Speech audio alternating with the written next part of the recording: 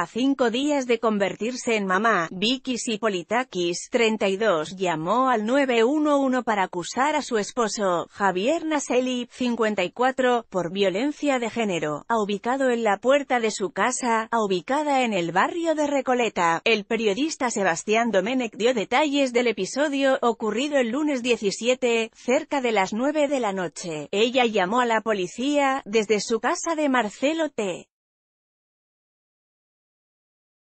de Alvear porque había tenido un incidente con su marido, Javier Naseli. Ella dio a luz hace poco, por eso desistió conseguir la denuncia penal, comenzó diciendo el cronista en Arriba a Argentinos, y agregó, ella hizo llegar a la policía para hacer echar a su marido y el hombre se fue, sin inconvenientes. No hubo agresión física, sí hubo una discusión.